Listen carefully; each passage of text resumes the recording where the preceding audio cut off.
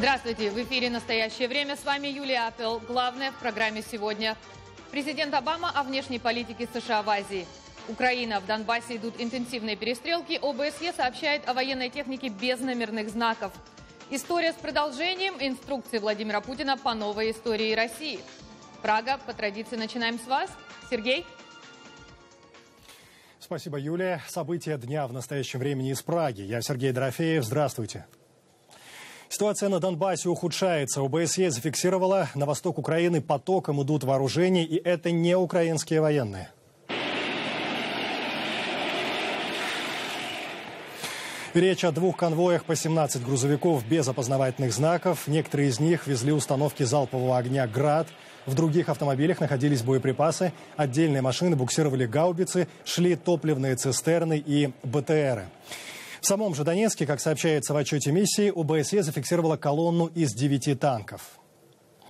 Боевики заявляют, что техника под Донецком принадлежит ДНР, а ее движение связано с ротацией ополчения. Спикер же Украинского совета национальной безопасности и обороны Андрей Лысенко говорит, что колонны на Донбасс движутся из России, и там не только техника, но и профессиональные военные. А в их руках автомат Калашникова с лазерными прицелами. И последние новости с востока Украины мы попросили прокомментировать аналитика Лондонского Королевского института международных отношений Арысю Луцевич. Арыся, здравствуйте. ОБСЕ подтверждает наличие тяжелой военной техники на Донбассе, на территории, которую контролируют боевики. Минские мирные соглашения уже давно не выполняются. Так называемого особого статуса Э, у Донбасса не будет. Как это понимать? Урегулирование ситуации начинается сначала?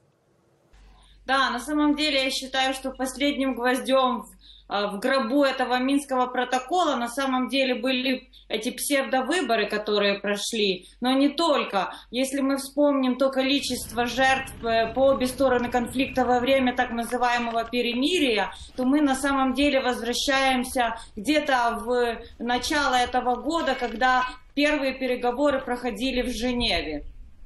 А почему, по-вашему, молчат европейские лидеры? Танки, БТРы, КАМАЗы э, с, с офицерами, солдатами идут колоннами, а реагирует на это, по сути, только Украина? Ну, я бы не совсем так сказала, потому что мы видели НАТО, которое тоже подтвердило наличие российских войск и военнослужащих, ну, которые... Вы хорошо понимаете, что э, одно дело подтверждать и использовать дипломатические фразы, и совсем другое действовать. Ну, мне кажется, что на самом деле действовать Европа во все, по этому направлению военному не готова. Поэтому единственное, что они могут сделать, это или немножко ужесточить санкции в лучшем случае, или предоставить какую-то еще дополнительную военную помощь правительству Украины, чтобы противостоять распространению этого конфликта на э, территорию Украины. А что это может быть за военная помощь? Потому что, например, премьер-министр Польши э, заявил о том, что никакой военной поддержки со стороны Варшавы Киеву не будет. Ну, здесь на самом деле Америка более активнее действует, чем Европейский Союз. И мы знаем, что на уровне Министерства обороны Украины и Соединенных Штатов существует э, программа помощи. Стратегии американского министерства работают по подготовке и э, обучению украинских солдат по поведению вот в такой антитеррористической операции. Поэтому здесь мы больше должны рассчитывать на Америку, чем на Европейский Союз, который, у которого на самом деле, кроме кроме взаимодействия с НАТО нет никаких военных инструментов. Почему, по-вашему, официальный Киев до сих пор не ввел военное положение? Потому что со стороны складывается впечатление, что те же мальчишки-смертники, обороняющие Донецкий аэропорт, предоставлены сами себе. А в это время в крупных городах Украины кипит обычная мирная жизнь. Да, но на самом деле вопрос военного положения обсуждался уже несколько раз в парламенте Украины, но его не вводят по простой экономической причине, потому что Украина не сможет получать никакое финансирование от Международного валютного фонда, если Украина будет находиться в состоянии войны. Мне кажется, что вот такой двойной параллельный э, подход, э, стратегия, она может сработать лучше, чем сейчас объявить военную ситуацию на всей территории Украины. Арыся, спасибо. Это была аналитик Лондонского Королевского института международных отношений Арыся Луцевич. И тем временем ЛНР и ДНР готовы дальше обсуждать Минские мирные соглашения, которые ими же не выполняются. Непризнанные республики опередили определили делегатов для очередной поездки в Минск в конце ноября, чтобы предложить новую редакцию Минского протокола. Об этом сообщает РИА. Эхо боевых действий в Украине и аннексии Крыма звучит в Европе. На улицах Праги появились рекламные щиты с фотографией лидера крымских татар Мустафы Джемилева и его цитатой. За выражение несогласия советской оккупацией Чехословакии в 1968 году я отсидел в тюрьме три года. Сейчас меня президент Чехии призывает смириться с аннексией Крыма, гласит надпись на бордах.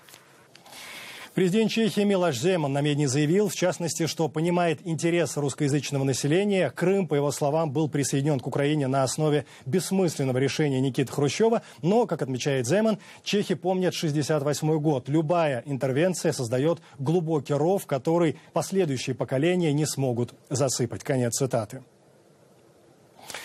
Это программа «Настоящее время». Спасибо, что смотрите. Мы приветствуем всех тех, кто только к нам присоединился. И сейчас слово коллегам в Вашингтон. О чем Барак Обама говорил в Китае. Спасибо.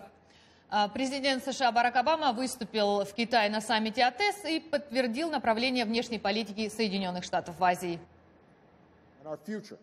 Наше будущее, безопасность и процветание неразрывно связаны с Азией. Президент России Владимир Путин также выступил на саммите. В своей речи он постарался убедить лидеров государств в том, что экономическая ситуация в России благоприятна.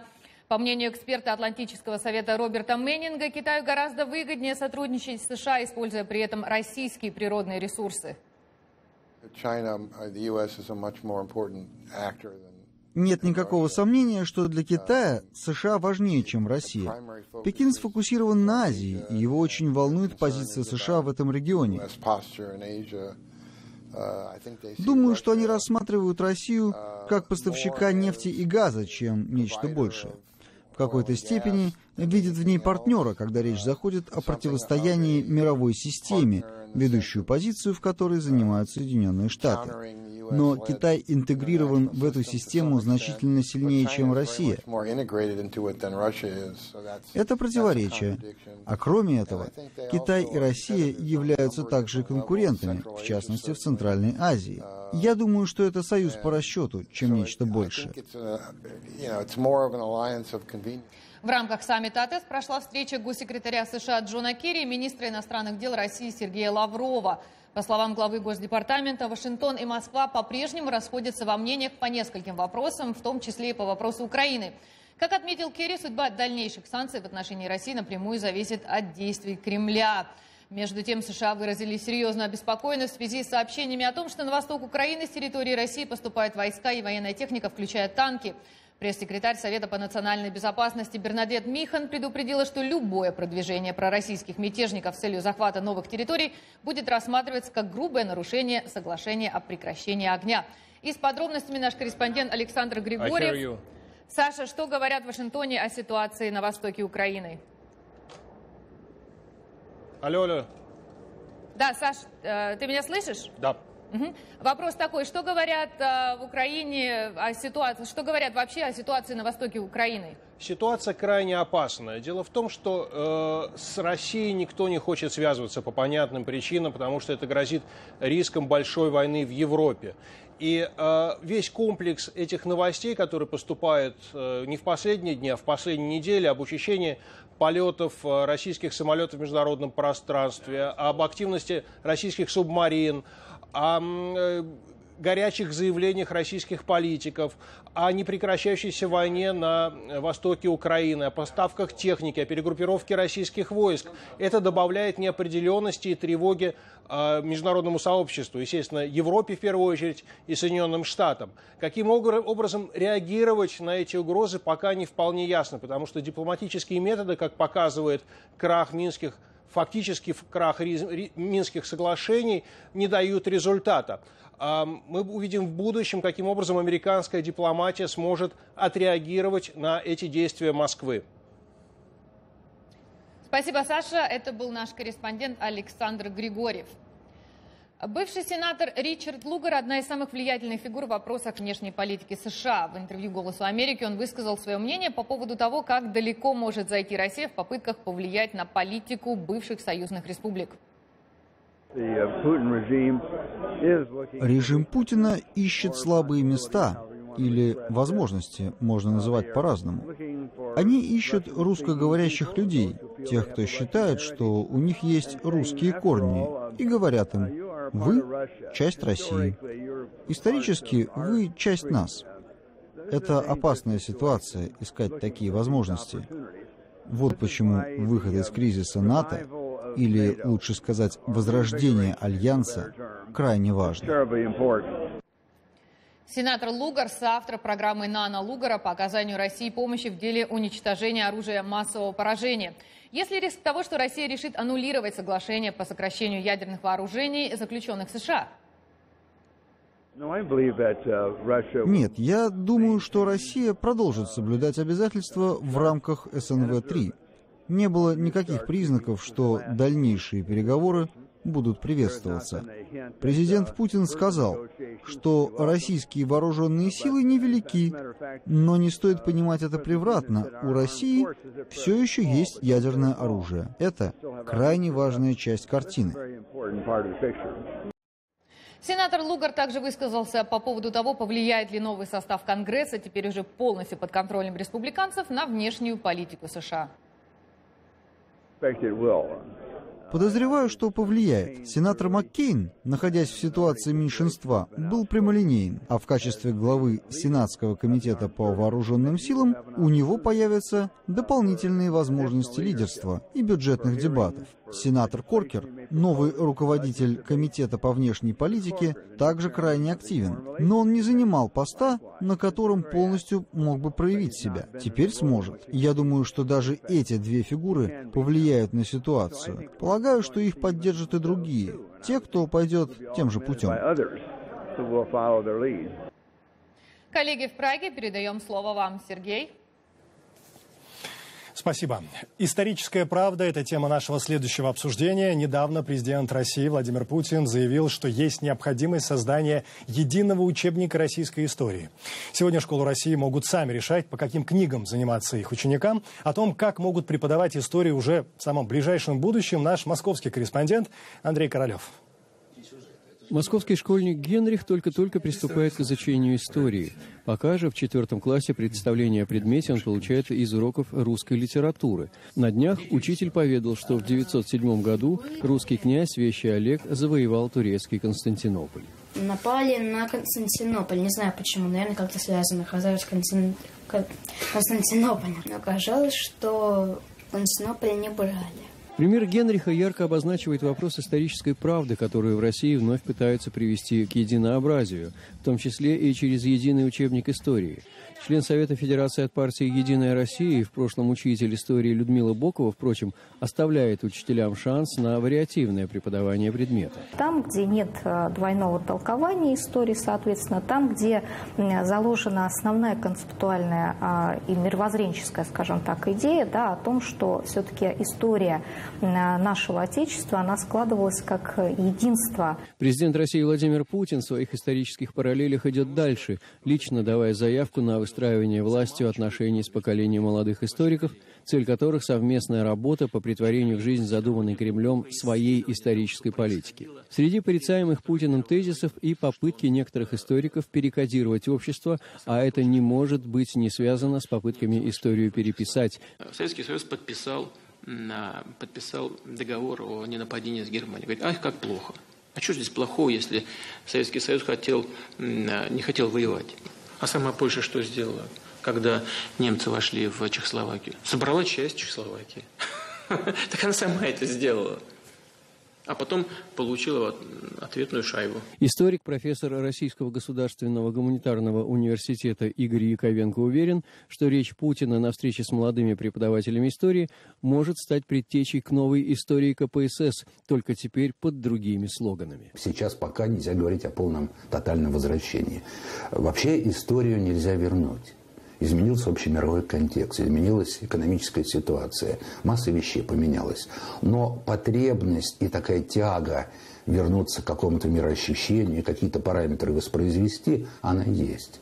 Другое дело, что это чистая химера.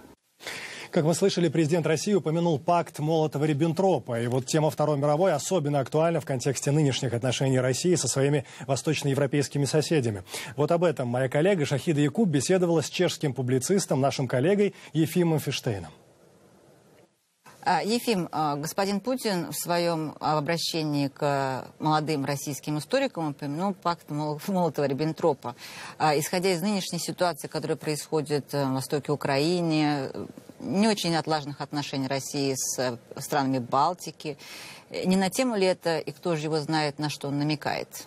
Господин Путин попытался представить пакт Риббентропа-Молотова как пакт о ненападении, которое, по его словам, само по себе прекрасно. Что же плохого в ненападении? В том, что будет мир. Но на самом-то деле пакт привел не к миру. Пакт означал раздел Польши, то есть настоящую войну со своими восточноевропейскими соседи, соседями.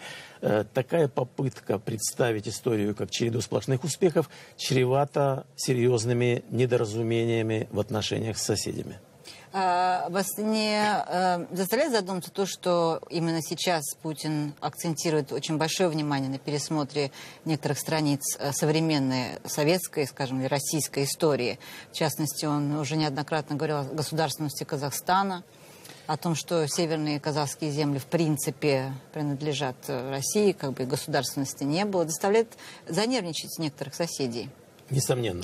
История это вообще не цепочка желаемого, а это цепочка действительного того, что реально произошло, а там всегда э, происходили не всегда приятные для государств э, вещи и возникали неприятные ситуации. Э, вспомним, скажем, что говоря о э, пакте Молотова-Риббентропа, э, господин Путин высказался в том смысле, что и Польша сама не недостаточно в белой манишке, что она до этого напала на Чехословакию, воспользовавшись, собственно говоря, отъемом Судетской области у тогдашней Чехословакии, и что э, фактически раздел Польши был как бы ответом на акт агрессии. Но ведь Путин пытается свою историю, историю государства российского оправдать во всех ее аспектах. Путин ведь э, забывает о том, что, разделив Польшу, ни Россия, ни Германия не вернули Чехословакии Южную Силезию, которую Польша тогда у нее отняла. Он, кстати... Но, может быть, это рассчитано на российскую аудиторию? А может быть, он хочет оправдать может быть... а, действия а. России, не оправдать действия России по отношению к соседям, а как бы уверить население России в том, что он действует правильно. Когда вы начинаете вот этот путь, когда вы вступаете на этот путь, вы обязательно оказываетесь в тупике. Тогда Путину придется объяснить, за что же он, собственно говоря, извинялся в Праге, когда извинялся за, за вторжение в 1968 году. За что извинялся Горбачев, и Ельцин, и Путин поочередно. Выходит так, что извинялись-то они по ошибке, а на самом деле все было прекрасно. Большое спасибо. Спасибо и вам. На вопросы программы отвечал чешский писатель, комментатор Ефим Фиштейн. Ну а как в самой Центральной Европе относится к возможности пересмотра истории? Моя коллега Екатерина Кочкина поговорила с учеными-историками и узнала, отражаются ли современные политические тенденции в книгах для европейских школьников. Знакомство с историей страны начинается в школе. В России президент предложил создать единый учебник истории – Ничего плохого в этом нет. Однако часто личные взгляды российского президента воспринимаются чиновниками как руководство к действию. Но не только в России политические тенденции отражаются на учебниках истории. Как нам рассказал историк Игорь Ватолин, хоть в Латвии программа и зависит в первую очередь от преподавателей, а не от государства, история часто трактуется с национал-патриотической точки зрения. Скажем, национал-радикальные силы, которые выступают с такой национал-романтической идеей Латвии для латышей, они стремятся курс истории Латвии превратить в такую вот индоктринацию в национал-романтическом стиле. Ну, именно латвийский патриотизм, подчеркивая вот эту историю страданий и свершения латышского народа, что странным образом совпадает с дискурсом ну, которые мы видим в России. В Польше ситуация обстоит несколько иначе. С пропагандой умели бороться и во времена советской оккупации. Пробелы в школьной истории восполняли дома. А в последние 25 лет основные концепции не подвергались существенным изменениям. Об этом перед эфиром нам рассказал польский журналист Алексей Дзиковицкий. в Польше очень сильны традиции вообще исторического воспитания и патриотического воспитания в семьях. Но что касается э, каких-то интерпретаций исторических фактов, ну то э, не думаю, чтобы вдруг э, пришел, ну не может быть такой ситуации здесь, чтобы пришло новое правительство и сказали, вот нет, теперь про Э, битву под Грюнвальдом, например, нужно говорить иначе. От проведения параллелей между советской оккупацией стран бывшего Восточного блока и нынешней ситуацией в Украине в европейских школах пока воздерживаются. И вновь время передавать слово в Вашингтон. Юлия, продолжайте. Спасибо. Комиссия ООН по изменению климата заявила, что глобальное потепление становится причиной экстремальных погодных условий во всем мире и призвала правительства разных стран вырабатывать новые подходы к сокращению выбросов парниковых газов. Изменение климата, возможно, станет одной из тем переговоров лидеров США и Китая Барака Обамы и Си Цзиньпина. И с нами на связи наш корреспондент в Нью-Йорке Виктория Купчинецкая. Виктория, добро пожаловать. Добрый день, Юлия. Да, что ожидается от встречи э, в Пекине? А, а, Юлия, ну действительно, президент США и президент Китая сегодня встретились, но не в неформальной обстановке. Они встретились на таком торжественном банкете, который китайское руководство а, а, организовало для всех участников саммита АТЭС. Официальная встреча президента США и президента Китая ожидается в среду. И, конечно же, помимо а, экономического развития, помимо а, экономических связей, политических связей между США и Китаем, вопрос глобального потепления и борьбы с ним будет обязательно обсуждаться, потому что это очень значительно, это значительная проблема для обеих стран. США и Китай являются а, самыми главными загрязнителями а, окружающей среды в мире. И а, здесь очень интересная а, деталь, а, а, что, например, за 10 дней до начала саммита АТЭС в Китае были закрыты вокруг Пекина, были закрыты несколько фабрик, несколько заводов для того, чтобы хоть как-то расчистить вот ту загазованность воздуха, которая наблюдается в Пекине. А можно ли ожидать каких-то а, серьезных а, соглашений, которые будут по этому вопросу а, а, заключены между, а, между президентами США и Китая? Скорее всего, нет, но этот вопрос будет обязательно обсуждаться, потому что для Барака Обамы это является одной из самых любимых политических тем. Он считает, что борьба с глобальным потеплением – а, а, а, поиск, поиск новых возобновляемых источников энергии будет положительно сказываться на экономике Соединенных Штатов и, и, будет, э, и будет, э, приведет к созданию новых рабочих мест.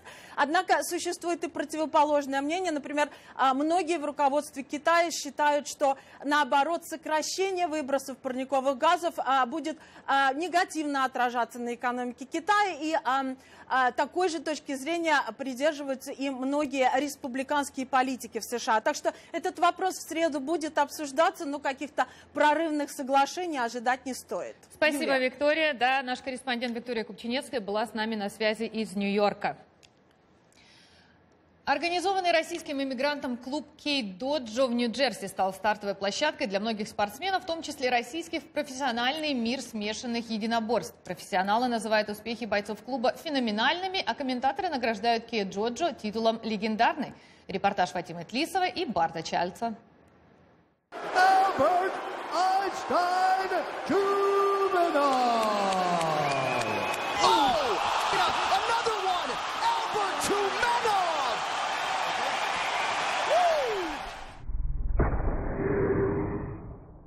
клуба Кей-Доджа в Нью-Джерси «Племя воинов».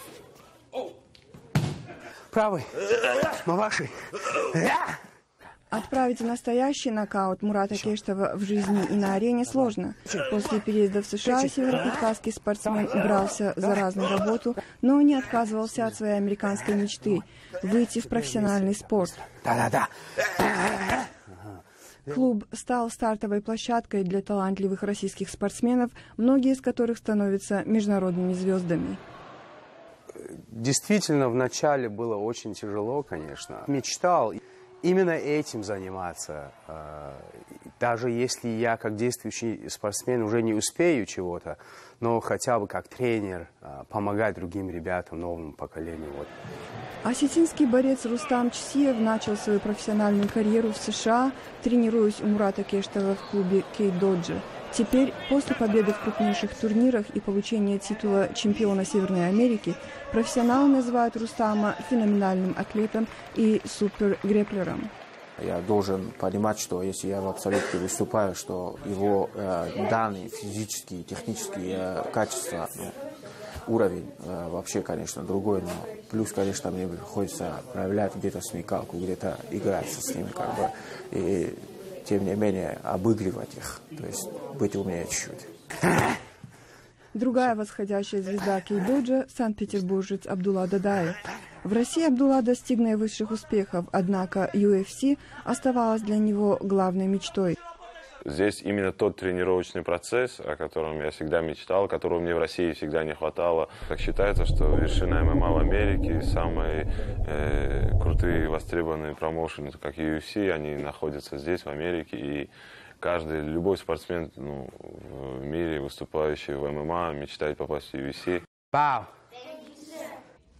Главная цель Мурата Кештова – вывести российские таланты на международную арену. Однако клуб Кейдоджи открыт для всех и стал любимым местом для американцев.